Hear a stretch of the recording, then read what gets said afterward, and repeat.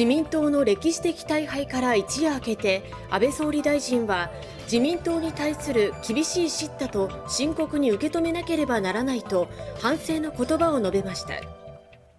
大変厳しい都民の審判が下されました。我が党に対する自民党に対する厳しい叱咤と深刻に受け止め深く反省しなければなりません。今後党一丸となってしっかりと体制を整え結果を出していくことによって国民の信頼を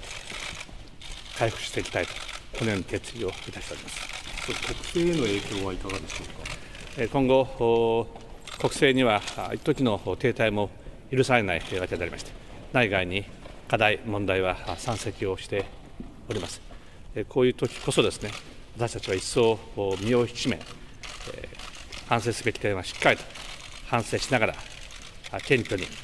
丁寧に、しかしやるべきことはしっかりと前に進めていかなければいけないと、こう考えております今回の敗戦敗因の最大の理由は何だと思われます？かこれは政権が発足して、もうすでに5年近くが経過をするわけであります。その中において、安倍政権に緩みがあるのではないかと。いう厳しいご批判があったんだろうと思います。そのことはしっかりと真摯に受け止めなければならないと思います。我々が政権を奪還した時の